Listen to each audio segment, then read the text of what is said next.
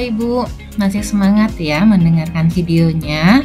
Di video kali ini saya akan coba membagikan tentang Google Spreadsheet.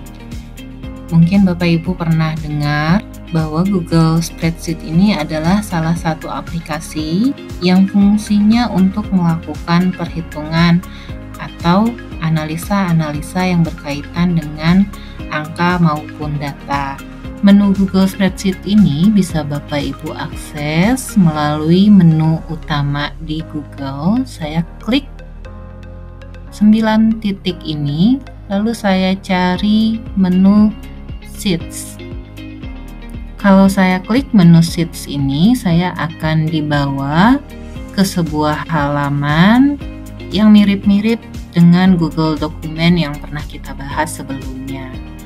Sama dengan Google Dokumen, Google Sheets ini juga menyediakan beberapa template yang tersedia pada template gallery. Bapak Ibu bisa pilih jika memang project Bapak Ibu bisa menggunakan template, silahkan menggunakan template. Contoh, di sini saya pilih template kalender. Saya klik template kalendernya, lalu saya tunggu Google-nya untuk mendownload template tersebut. Di sini saya bisa mengganti-ganti nanti baik warna, tulisan, dan teks yang ada di dalam sini. Kemudahan menggunakan template adalah ya kita tidak harus pusing dengan desainnya. Jadi desainnya sudah disediakan oleh Google, kita tinggal pakai berdasarkan desain yang ada. Saya kembalikan ke halaman awal. Saya ingin menunjukkan kepada Bapak Ibu bagaimana memulai Google Spreadsheet dari template yang kosong, jadi blank dokumen. Saya pilih di sini blank, kosong, dokumen kosong.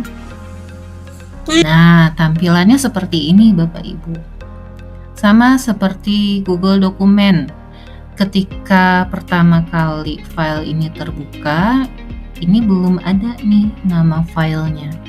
Jadi mari kita buat dulu nama filenya. Misal latihan satu saving proses saving ini nanti jika sudah selesai dia akan langsung mengirimkan ke drive Google Spreadsheet ini mirip dengan aplikasi yang ada di pasaran. Perpotongan antara kolom ini jadi kita sebut kolom ya Bapak Ibu, kolom A, kolom B, kolom C. Jadi semua ini, ini satu kolom, ini satu kolom, ini satu kolom dan seterusnya. Ini A, B, C, D, E dan seterusnya disebut sebagai kolom head jadi kepala kolom. 1, 2, 3, lihat angka-angka yang di sebelah sini, ini disebut dengan row atau baris. Perpotongan antara kolom dan row ini disebut cell. Jadi kotak ini, kotak ini, ini namanya sel A1. Kotak ini namanya sel B satu. Jadi nama kolomnya di depan, lalu nama barisnya di belakang. Ini sel apa? Iya, sel C2. Untuk mengisikan data, kita bisa langsung mengetikkan datanya di sana. Misal nomor, nama. Oh ya, untuk berpindah sel, Bapak Ibu bisa menekan tombol tab jadi di baris yang sama saya tinggal menekan tombol tab. Misal saya ingin membuat sebuah daftar hadir dari kelas saya. Biasanya saya akan hitung kelas saya ada berapa ya anak muridnya. Oh, cuma ada 12. Berarti di sini saya ketikkan 1 2 3, 4 dan seterusnya sampai 12. Tapi kalau nomornya berurutan, Bapak Ibu tidak usah nih ngetik satu-satu. Kalau nomornya berurutan, kita bisa lakukan proses seperti ini. Diklik satu duanya, lalu cari tanda kotak kecil ini. Arahkan kursor Bapak Ibu sampai membentuk tanda plus, lalu tarik maka secara otomatis dia ada angkanya berurutan 1 2 3 4 5 6 7 sampai 12 oke ini kita tidak butuh jadi saya akan blok lalu delete isikan nama anak-anaknya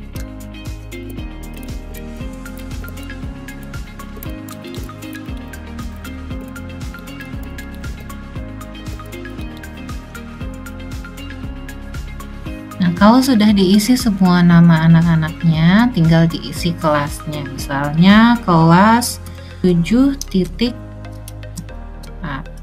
Nah, ini kan semuanya nilainya sama nih. Si Adam, Ani, Ali, seterusnya. Ini kan semuanya di kelas 7 titik A. Jadi ini tinggal saya tarik aja kayak tadi. Maka nilainya akan terduplikasi. Bedanya apa nih sama yang nomor tadi? Kalau yang nomor tadi kan yang saya blok dua ya Bapak Ibu saya blok dua begini lalu saya tarik kotaknya kalau yang tadi yang kelas ini yang saya pilih hanya sel C2 saja sel C2 saya pilih lalu kursor saya saya dekatkan ke pojok kanan sel bawah saya tarik sampai bawah maka ini akan menduplikasi nilai yang dibuat paling atas nah Hal lain yang ingin saya kenalkan ke Bapak Ibu adalah tentang format data, format sel ya. Jadi misal di sini saya ingin menformat tanggal ya. Jadi saya pilih sel misalnya ini tanggal lahir. Tanggal lahir. Nah, tanggal lahir kan formatnya beda ya, bukan teks. Saya pilih menu format lalu saya pilih menu number. Di sini bisa dipilih menu date atau Bapak Ibu bisa pilih more date and time format.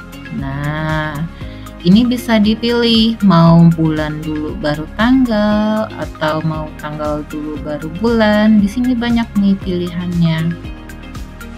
Nah, tinggal Bapak Ibu pilih. Saya pilih yang mana ya? saya pilih coba yang ini aja oke lalu apply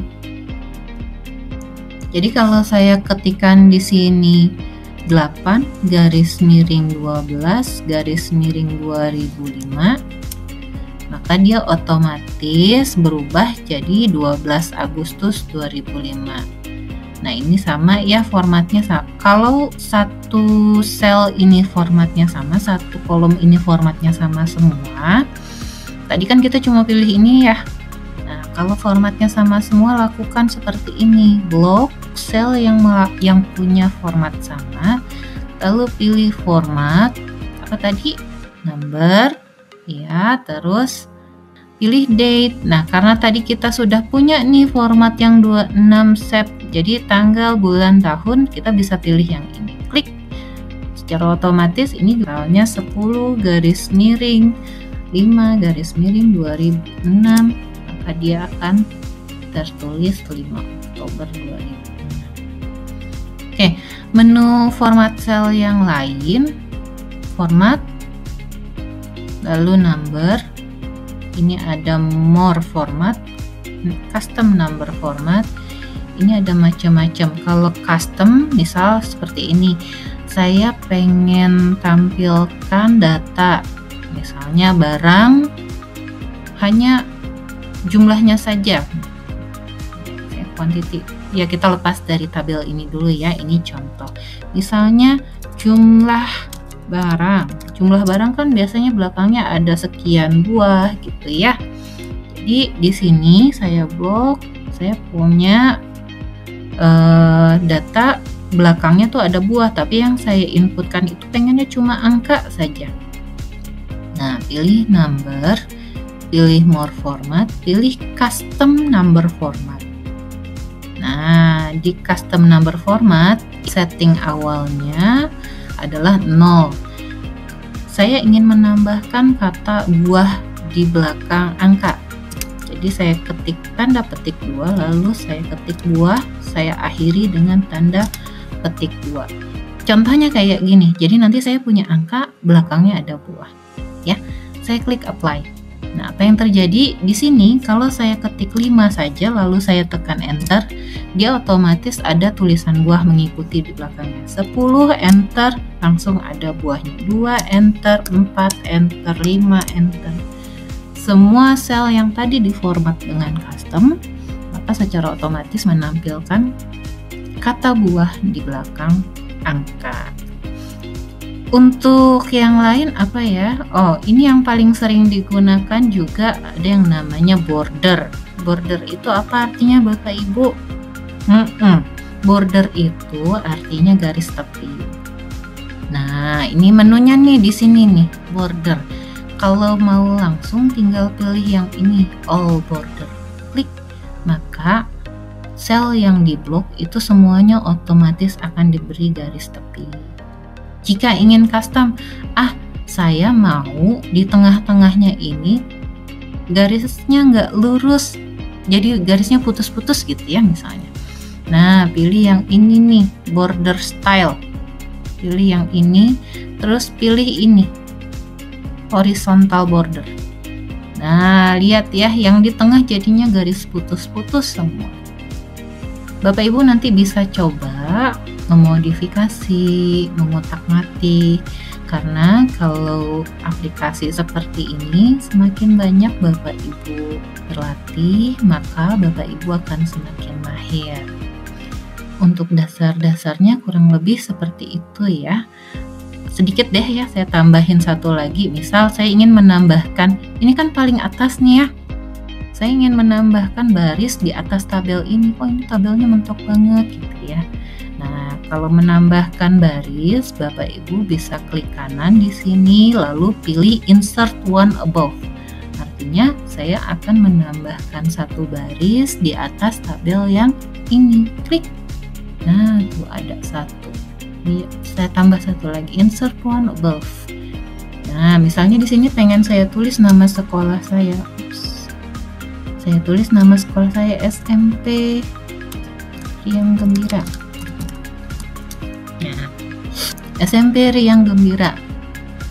Ah ini pengen saya ratakan ke tengah. Saya klik Lalu saya pilih perataan. Nah, perataannya di sini nih Bapak Ibu agak beda ya sama Google Dokumen.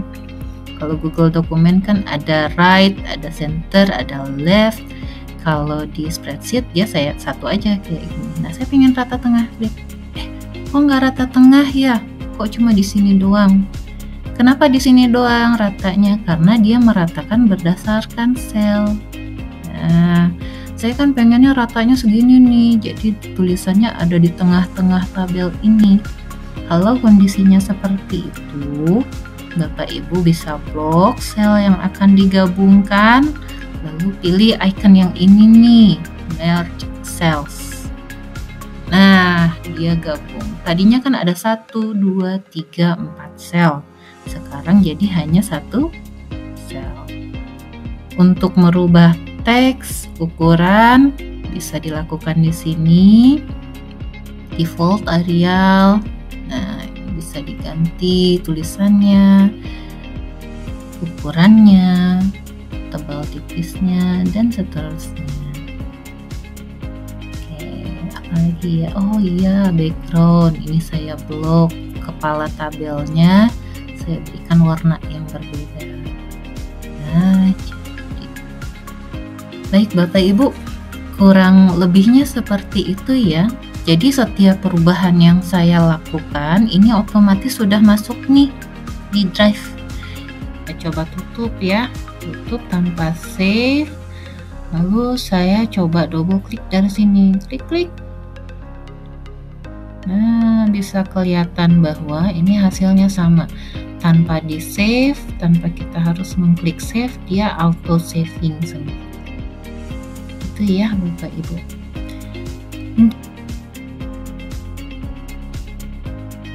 Mungkin untuk pengenalan Google Spreadsheet hanya sampai di sini. Mudah-mudahan nanti ada kesempatan untuk kita membuat video lebih banyak lagi dan lebih mendalam tentang Google Spreadsheet. Tapi saya harap video ini uh, memberikan gambaran tingkat mengenai penggunaan Sheets, pada Google dan pengaplikasiannya nanti di dalam pembelajaran. Oke, uh, kurang lebihnya seperti itu Bapak Ibu. Uh, mohon maaf jika ada kekurangan. Terima kasih sudah menyaksikan hingga akhir video. Saya tutup video kali ini. Sampai berjumpa pada video berikutnya.